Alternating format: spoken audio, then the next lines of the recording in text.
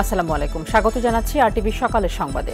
রাজধানীর কুড়িল ফ্লাইওভারে সড়ক দুর্ঘটনায় নর্থ সাউথ বিশ্ববিদ্যালয়ের ছাত্রী নিহতের ঘটনায় চট্টগ্রাম থেকে এক কাভার্ড ভ্যান চালক ও তার সহযোগীকে আটক করেছে পুলিশ। গণমাধ্যমকে বিষয়টি নিশ্চিত করেছেন ঢাকা মহানগর পুলিশের ক্যান্টনমেন্ট জোনের অতিরিক্ত উপ কমিশনার ইফতেখারুল। শুক্রবার সকাল সাড়ে সাতটার দিকে খিলক্ষেত ফ্লাইওভারে অজ্ঞাত গাড়ির চাপায় মারা যান স্কুটি আরোহী নর্থ সাউথ বিশ্ববিদ্যালয়ের শিক্ষার্থী মাইশা মমতাজ। ওই ঘটনার পর অজ্ঞাত গাড়িটি শনাক্ত করতে সিসিটিভি ফুটেজ সংগ্রহ করে পুলিশ। আওয়ামী লীগ নেতা জাহিদুল ইসলাম টিপু ও কলেজ ছাত্রী প্রীতি হত্যার অন্যতম মাস্টারমাইন্ড সহ চারজনকে রাজধানীর বিভিন্ন স্থান থেকে গ্রেফতার করেছে র্যাপিড অ্যাকশন ব্যাটালিয়ন র্যাব। এ বিষয়ে দুপুরে নিজস্ব কারওয়ান বাজার মিডিয়া সেন্টারে সংবাদ সম্মেলন করবে র্যাব। এর আগে গেল মঙ্গলবার কিলার মাসুম মোহাম্মদ আকাশ ও শুক্রবার আরফান উল্লাহ দামালকে অস্ত্র সহ গ্রেফতার করে ঢাকা মহানগর গোয়েন্দা পুলিশ। গেল চব্বিশে মার্চ বৃহস্পতিবার রাতে এলোপাতাড়ি গুলিতে টিপু ও রিকশা আরোহী কলেজ ছাত্রী প্রীতি নিহত হন। গুলিবিদ্ধ হয়ে আহত হন টিপুর গাড়ি চালক মুন্না।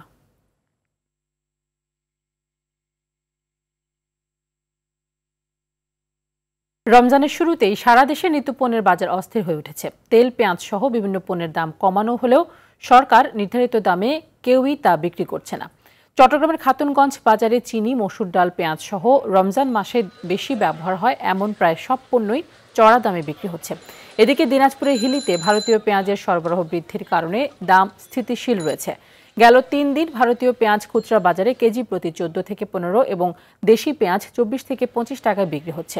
অন্যদিকে কেজি প্রতি দশ টাকা কমে আদা পঞ্চাশ, রসুন তিন টাকা কমে সাতাশ এবং কাঁচামরিচ বিশ টাকা কমে পঁয়ত্রিশ টাকায় বিক্রি হচ্ছে।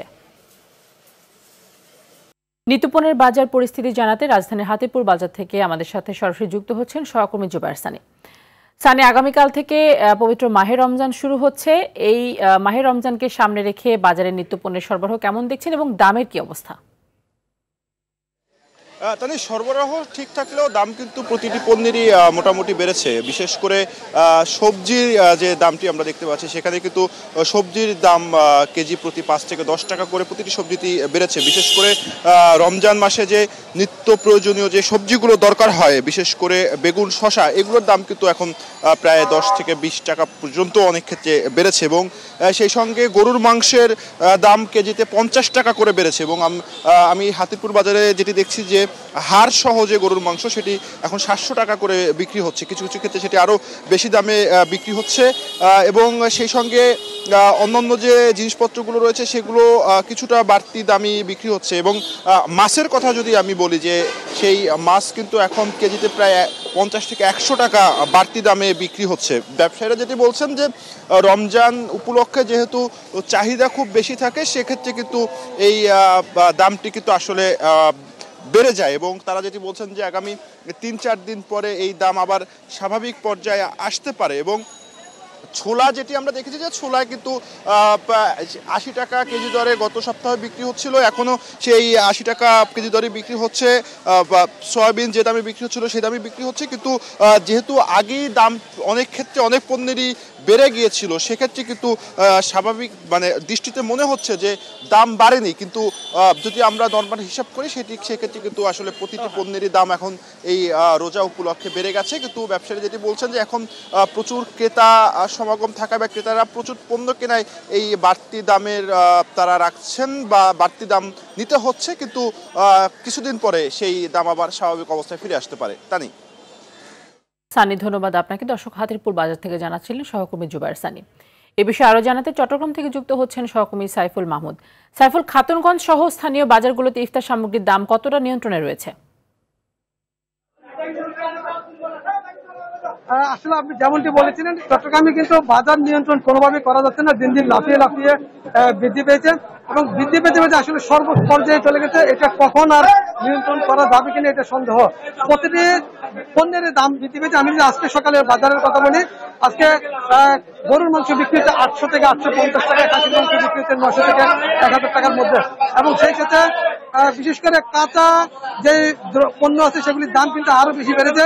বেগুনের দাম কিন্তু পাইকারি রেটে বিক্রি হচ্ছে সত্তর টাকা করে, শশা বিক্রি হচ্ছে পাইকারি রেটে ষাট টাকা করে। আসলে এখানকার যারা ক্রেতা আছে, তারা আমাদেরকে অভিযোগ করেছেন, আসলে আর কত বাড়বে বাড়াবে ব্যবসায়ীরা? বাড়াতে বাড়াতে একদম শেষ পর্যায়ে নিয়ে গেছে। এবং একই সাথে রমজানের যেই সবচেয়ে গুরুত্বপূর্ণ বিষয়টি খেজুর, সেটার দামও কিন্তু আসলে বাড়িয়ে দিয়েছেন কারণ এখানকার ব্যবসায়ীরা?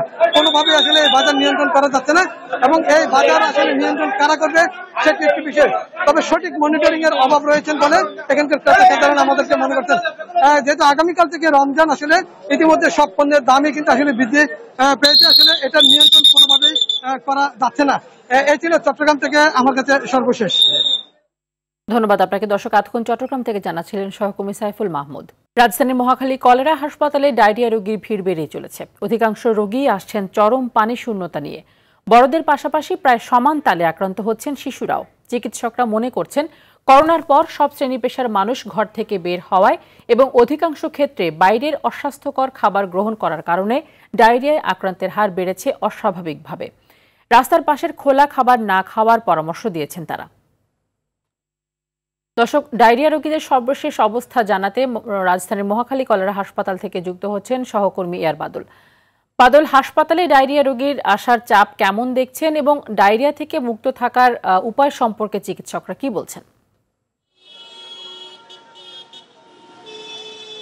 আর তা নিয়ে আমি সকাল নয়টার দিকে এখানে এসেছি। তখন থেকেই আমি দেখতে পাচ্ছি যে আজকে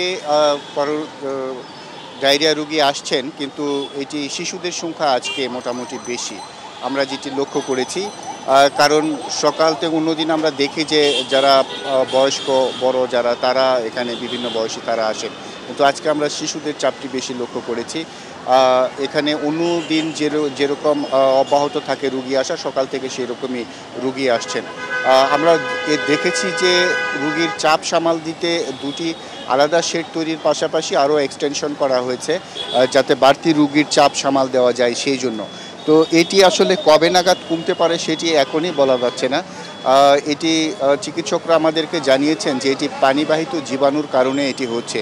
যে কারণে এটি যারা বাইরের খোলা খাবার খাচ্ছেন বাইরের যারা পানি খাচ্ছেন বা পানি ফুটিয়ে না খাচ্ছেন, বিশুদ্ধ পানি না খাচ্ছেন কোনো না কোনোভাবে শরীরে এই ডায়রিয়া জীবাণু প্রবেশ করছে এবং সেখান থেকেই তারা অসুস্থ হয়ে হাসপাতালে তাদেরকে আসতে হচ্ছে। তো চিকিৎসকরা পরামর্শ দিয়েছেন যে বাইরের খোলা খাবার একেবারেই খাওয়া যাবে না। এবং পানি ফুটিয়ে পান করতে হবে, বিশুদ্ধ পানি পান করতে হবে। প্রয়োজনে যদি ফুটানোর ব্যবস্থা না থাকে, সেক্ষেত্রে তিন লিটার পানিতে একটি ক্লোরিন ট্যাবলেট দিয়ে বিশুদ্ধ করে সেই পানি পান করতে হবে। এরকম পরামর্শ চিকিৎসকরা দিচ্ছেন। তো এখনও আমরা জানতে পেরেছি যতটুকু যে গতকাল যেরকম পরিমাণ রুগী ভর্তি হয়েছিল, প্রায় সম পরিমাণ রুগী ভর্তি হচ্ছে, চাপ এখনও কমেনি। তো তা নিয়ে এই ছিল আমার কাছে সর্বশেষ খবর। বাদল, ধন্যবাদ আপনাকে। দর্শক রাজধানীর মহাখালী কলেরা হাসপাতাল থেকে এতক্ষণ জানাচ্ছিলেন সহকর্মী এয়ার বাদল। বিশ্ব অটিজম সচেতনতা দিবস আজ। এমন বিশ্ব গড়ি, অটিজম বৈশিষ্ট্য সম্পন্ন ব্যক্তির প্রতিভা বিকশিত করি। এই প্রতিপাদ্যে বিশ্বব্যাপী পালিত হচ্ছে দিবসটি। বিশেষজ্ঞরা বলছেন, অটিজম বৈশিষ্ট্য সম্পন্ন শিশুদের দক্ষতা বাড়াতে সচেতনতা বৃদ্ধি ও কারিগরি শিক্ষার বিকল্প নেই। আর সমাজ কল্যাণ মন্ত্রণালয়ের সচিব জানালেন অটিজম আক্রান্তদের শিক্ষা ও চিকিৎসা সেবা দেওয়ার পাশাপাশি চালু করা হচ্ছে মোবাইল অ্যাপস। বিস্তারিত থাকছে সাদিয়া কানেজের রিপোর্টে। জনস্বাস্থ্যের একটি বড় বিষয় অটিজম। আক্রান্তদের রয়েছে স্নায়ুর বিকাশজনিত বেশ কিছু সমস্যা, যার ফলে আচরণগত পরিবর্তনের পাশাপাশি সামাজিক সম্পর্ক স্থাপনে নানাভাবে বাধাগ্রস্ত হয় অটিজম বৈশিষ্ট্য সম্পন্নরা এদের চিন্তাভাবনা এবং কর্মপদ্ধতি অন্যদের থেকে আলাদা হয়। আমার দেশের বাইরে। ধানের মাঠে ঢেউ খেলানো এমন কোথাও নাই রে। ড্যান্স করতে ভালো লাগে গান গাইতে ভালো লাগে গান শুনতে ভালো লাগে আর ছবি দেখতে ভালো লাগে। ডাক্তার চাই। অভিভাবকরা বলছেন অটিস্টিক শিশুদের জন্য সরকারিভাবে শিক্ষা ও চিকিৎসা সেবার ব্যবস্থা নেওয়া হলেও তা এখনও পর্যাপ্ত নয়। অনেক সময় দেখা যায় যে প্যারেন্টসরা পিছিয়ে পড়ে তারা স্কুলে দিতে চাচ্ছে না বা ফ্যামিলি থেকে সাপোর্ট পাচ্ছে না। বাসায় ভিজিটর যাওয়া উচিত যে ভিজিট করবে কেন তারা স্কুলে দিতে চাচ্ছে না কি প্রবলেম তারা ফেস করছে। আমার বাচ্চা এখন ক্লাস নাইনে পড়ে। তো ও আসলে নর্মাল স্কুলেও যাচ্ছে এবং স্পেশাল স্কুলেও আছে। তো সেখানে দেখা যায় নর্মাল স্কুলের বেবিরা আসলে ওর সঙ্গে আসলে নর্মাল অ্যাটিটিউড করে না। ইন্সপিরেশন ওয়েলফেয়ার সোসাইটির সাধারণ সম্পাদক সৈয়দা মনিরা ইসলামের মতে অটিজম বৈশিষ্ট্য সম্পন্ন মানুষের প্রতিভা বিকশিত করতে সুচিকিৎসার পাশাপাশি দিতে হবে কারিগরি প্রশিক্ষণ। অটিজম বৈশিষ্ট্য সম্পন্ন যে মানুষগুলো আছে তাদের ব্যাপারে বা তাদের বিষয়ে ব্যাপক সচেতনতা তৈরি করতে হবে। গ্রহণযোগ্যতা তৈরি করতে হবে, শুরু করতে হবে পরিবার থেকে, তারপরে সামাজিক গ্রহণযোগ্যতা। এরপর হচ্ছে রাষ্ট্রীয়। এরপরে যেটা করতে হবে সেটা হচ্ছে তাদের প্রতিভা আছে। এই প্রতিভাগুলোকে বিকাশ ঘটানোর জন্য আমাদের সবাইকে একসাথে কাজ করতে হবে। অটিজম বৈশ্য সম্পন্ন সন্তানদের জন্য মায়ের আসলেই দ্বিতীয় কোনো বিকল্প নাই। মাকে মানসিকভাবে সুস্থ রাখতে হবে মায়ের মানসিক শক্তি বাড়িয়ে দিতে হবে মাকে সাহস যোগাতে হবে। পড়ালেখা একটু সুযোগ করে দেওয়া বে- চাকরি ক্ষেত্রে কোটা বৃদ্ধি করা আপনি তারপরে আমাদের ওদের খেলাধুলা এবং সাংস্কৃতিক অঙ্গনটা বাড়িয়ে দেওয়া কোনো বৈষম্যের শিকার না হয় এবং তাদের সাথে আমরা যাতে আরও ভালো বা- ব্যবহার করতে পারি। সমাজ কল্যাণ মন্ত্রণালয়ের সচিব জানালেন অটিজম বৈশিষ্ট্য সম্পন্ন মানুষদের সুরক্ষা দিতে সরকার বদ্ধপরিকর। আমাদের মনোভাব পরিবর্তন করতে হবে। তাদেরকে মায়া, মমতা ভালোবাসার যত্নে, সুচিকিৎসা দিয়ে, সুপরামর্শ দিয়ে তাদেরকে, আমাদেরকে মূল স্রোতধারায় সম্পৃক্ত করতে হবে। বর্তমান সরকার কর্তৃক প্রত্যেক মন্ত্রণালয় বিভাগ দপ্তরকে নতুন নতুন উদ্ভাবনীর জন্য উৎসাহিত করা হচ্ছে এবং আমরা প্রতি বছর কিছু না কিছু উদ্ভাবনী নিয়ে কাজ করে থাকি। এসব মানুষেরা এখন আর সমাজের বোঝা নয়, তাই সরকারের উদ্যোগের পাশাপাশি অটিজম বৈশিষ্ট্য সম্পন্নদের অধিকার ও সুরক্ষা নিশ্চিতে সব শ্রেণি পেশার মানুষকে এগিয়ে আসার কথা বললেন তিনি। Sadia Kaniz, R TV, Dhaka. এদিকে বিশ্বের অন্যান্য দেশের মতো বাংলাদেশেও নানা কর্মসূচির মধ্য দিয়ে পনেরোতম বিশ্ব অটিজম সচেতনতা দিবস পালিত হচ্ছে।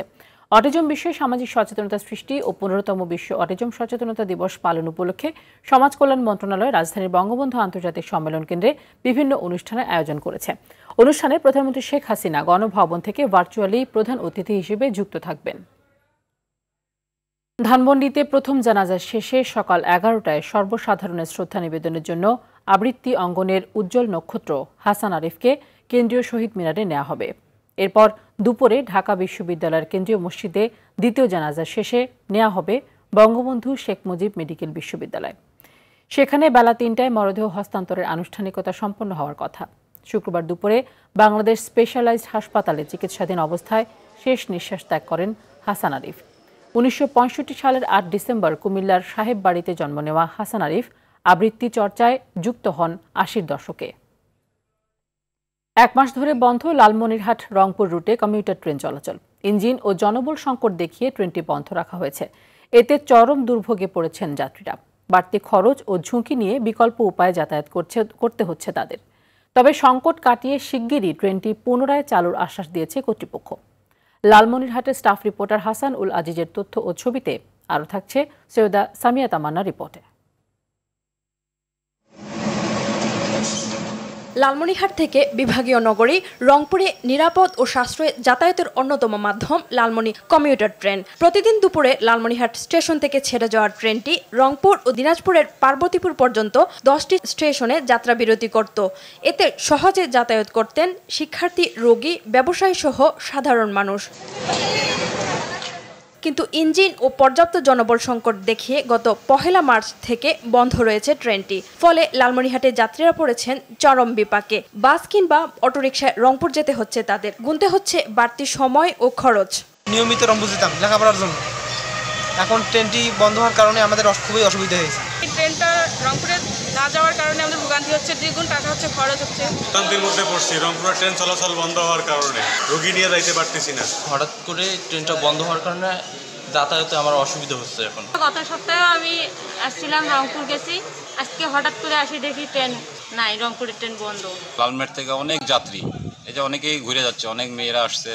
সংকট কাটিয়ে উঠতে পারলে কমিউটার ট্রেনটি পুনরায় চালু করা হবে বলে জানিয়েছেন রেলওয়ে কর্মকর্তা। লালমনিরহাট এবং পার্বতীর মধ্যে চলাচলকারী এক জোড়া ট্রেন বন্ধ রাখা হয়েছে।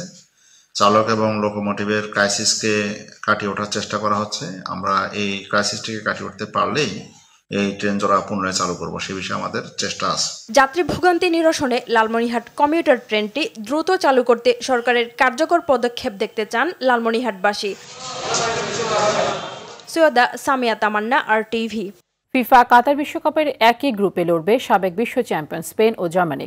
গ্রুপ ইতে তাদের সঙ্গী এশিয়ান পরাশক্তি জাপান। এছাড়া প্লে অফ থেকে আসবে এক দল। কাতারের দোহায় অনুষ্ঠিত ফিফা বিশ্বকাপের ড্র অনুষ্ঠানে নিশ্চিত হয় এটি। গ্রুপ জিতে পাঁচবারের চ্যাম্পিয়ন ব্রাজিলের সঙ্গী সুইজারল্যান্ড, ক্যামেরুন ও সার্বিয়া। গ্রুপ সিতে মেসির আর্জেন্টিনার সঙ্গী মেক্সিকো, পোল্যান্ড ও সৌদি আরব। এছাড়া গ্রুপ ডিতে ফ্রান্স, ডেনমার্ক। এফ এ, বেলজিয়াম, ক্রোয়েশিয়া। গ্রুপ এইচে পর্তুগাল উরুগে ইতে ইংল্যান্ড, যুক্তরাষ্ট্র ও গ্রুপ এতে নেদারল্যান্ডস, সেনেগাল মুখোমুখি হবে। এবার বিলিয়ার্ডের খবর। Ten ball billiard champion of চ্যাম্পিয়ন্সের খেতাব নিজের করে নিয়েছেন আলামিন দ্বিতীয় সিজনের ফাইনালে সাগর হোসেনকে তেরো চার ব্যবধানে হারিয়েছেন সাবেক জাতীয় চ্যাম্পিয়ন এই খেলোয়াড়। দেশের সবচেয়ে বড় টেন বলের টুর্নামেন্টের ফাইনালে উপস্থিত হয়ে বিজয়ীদের পুরস্কার তুলে দেন সাবেক মন্ত্রী আবুল কালাম আজাদ, এমপি। উপস্থিত ছিলেন বিসিবির পরিচালক ফাহিম সিনহা এবং দবির হোসেন, দবির উদ্দিন ভূঁইয়া। অনুষ্ঠানে সভাপতিত্ব করেন টুর্নামেন্টের আয়োজক রিসায়াত করিম ভূঁইয়া। সকালের সংবাদ এই পর্যন্তই। সবশেষ সংবাদ জানতে যে কোনো মোবাইল ফোন থেকে two four one four one নম্বরে ডায়াল করুন। মধ্যাহ্নের সংবাদ বারোটায় দেখার আমন্ত্রণ রইল। ধন্যবাদ সবাইকে।